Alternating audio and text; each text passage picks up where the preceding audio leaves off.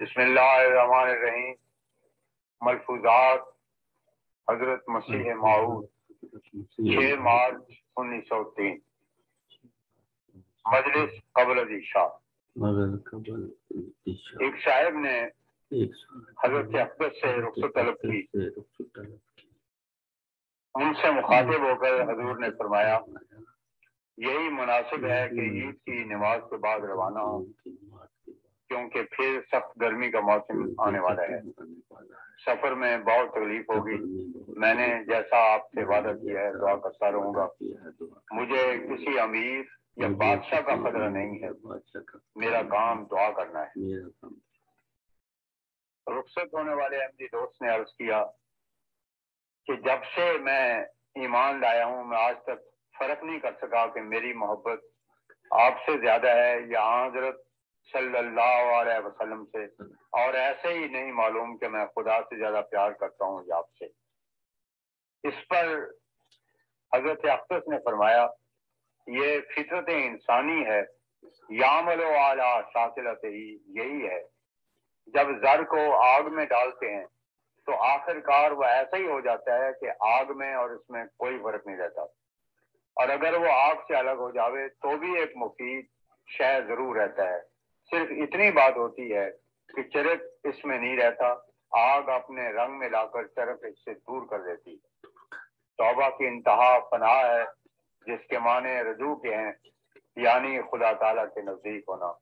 यही आग है जिससे इंसान साफ़ होता है। जो शख्स उसके नज़दीक कदम रखने से डरता है कि कहीं आग से जल न जावे, वो नाफिस है। लेकिन जो कदम आगे रखता है और जैसे परवाना आग में गिर कर अपने वजूद को जलाता है, वैसे ही वो भी गिरता है। वो कामयाब होता है। मुजाहदात की इंतहा फनाई है। इसके आगे जो लिका है, वो अम्र कस्बी नहीं, बल्कि वाबी है। इस कारोबार का इंतहा मरना है, और ये तो खुरेजी है। इसके बाद रोईदन, यानी पैदा करना, वो फेल खुदा का है। एक दाना ज़मीन में जाकर जब बिल्कुल नेस्त होता है तो फिर खुदा ताला उसे सब्जा बना देता है। मगर ये मरला बहुत खौफनाक है। बिल्कुल ठीक कहा है।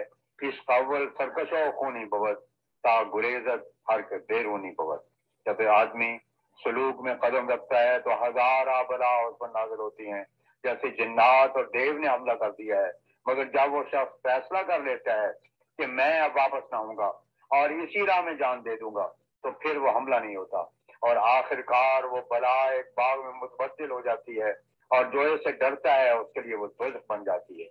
उसका इंतहाई मकाम बिल्कुल दोजक का तमसल होता है।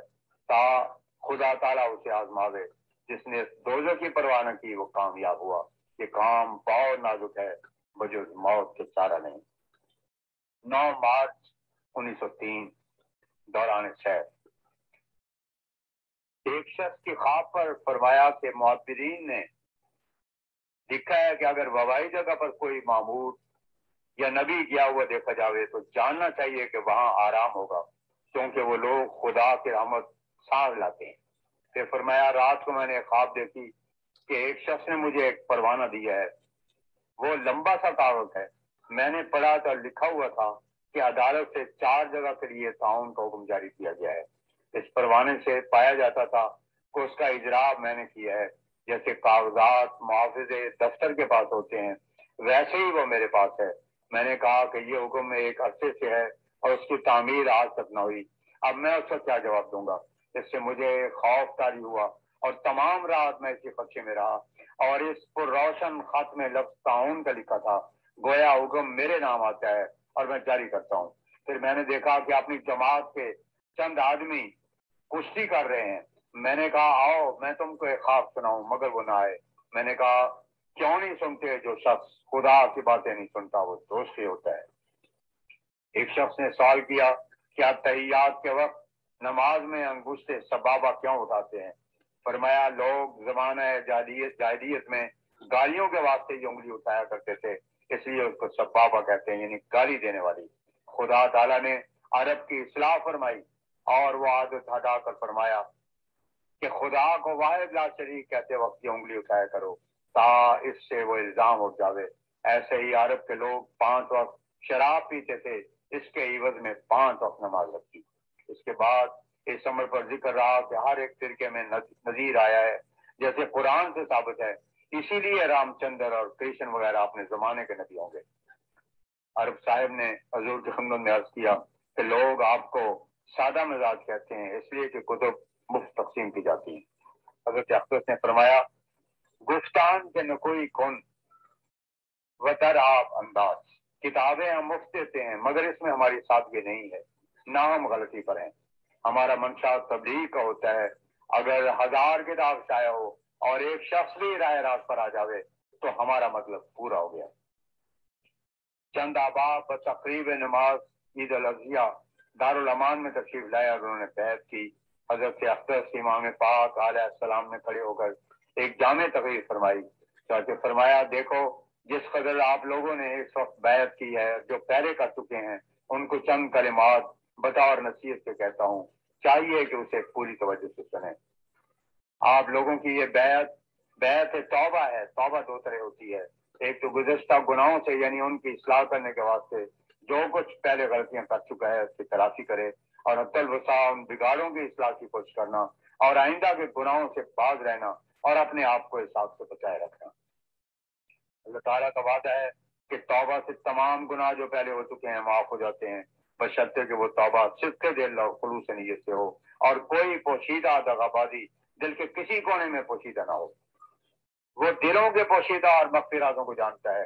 वो किसी के धोखे में नहीं आता।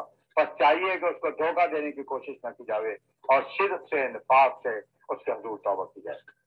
और शिरक से न नफाक से इसकी हजूर तोबा की जाए तोबा इंसान के वास्ते कोई जायद या बेफायदा चीज़ नहीं है और उसका असर सिर्फ़ क्यामत पर ही मुनसर नहीं, बल्कि इससे इंसान की दुनिया और दीन दोनों संवर जाते हैं और उसे जहान में और आने वाले जहान दोनों में आराम और खुशहाली नसीब होती है। देखो कुरान शरीफ में अल्लाह ताला फरमाता है, रब्बना आखिना फिर दुनिया हसनतम फिल आखिरत हसनतम वकना अजाब अल बकरा है दो सौ दो हमारे रब, हमें इस दुनिया में भी आराम और आसाइश के सामान अता फरमा और आने वाले जहान में आराम और राज अता फरमा और हमें आपके अजाब से बचा। देखो दरस रबना के लफ्ज में तोबाई की तरफ़ एक बारीक इशारा है, क्योंकि रबना का लफ्ज चाहता है कि वो बाज और रब्बों को जो उसने पहले बनाए हुए थे, उनसे बेदार होकर उस रब की तरफ़ आया है। और ये लफ्ज हकीकी दर्द और गुदास के सवा इंसान के दिल से निकल ही नहीं सकता। रब कहते हैं, बतदरी, कमाल को पहुँचाने वाला और परवश करने वाले को। असल में इंसान ने बहुत से अरबाब बनाए हुए होते हैं। अपने हिलों और दगाबाजियों पर उसे पूरा भरोसा होता है। तो वही उसके रब होते हैं। अगर उसे अपने इल्म का या कुत बाजू का गुमंड है तो वही उसके रब है। अगर उसे अपने हुसन या माल और दौलत पर फकर है तो वही उसका रब है। गरज इस तरह के हज़ारों असबाब उसके पास लगे हुए हैं, जब तक इन सबको तरह करके उनसे बेदार होकर इस वायदला शरीफ सच्चे और हकीकी रब के आगे सरे न्याज न झुकाए और रब्बना आगे पुरतर और दिल को पिघलाने वाली आवाजों से उसके आसानी बने न गिरे, तब तक वो हकीकी रब को नहीं समझा। बस जब ऐसी दिल सोजी और जान गुदाजी से उसके हजूर अपने गुनाहों का इकरार करके तौबा करता और उसे मुखातब करता है कि रब्बना, यानी असली और हकीकी रब तो तू ही था, मगर हम अपनी गलती से दूसरी जगह बैठ के पीछे रहे। अब मैंने छूटे बूतों और बातिल मबूतों को तरह कर दिया है और सिर्फ़ के दिल से तेरी रबूबियत के इकरार करता हूँ, तेरे आस्थाने पर हूँ। बजोज इसके खुदा को अपना रब बनाना मुश्किल है। जब तक इंसान के दिल से दूसरे रब उनके कदर कीमत और मंजिलत और अजमत और वकार निकल न जावे तब था हकीकी रब और उसकी रबूबियत का ठेका नहीं उठाता।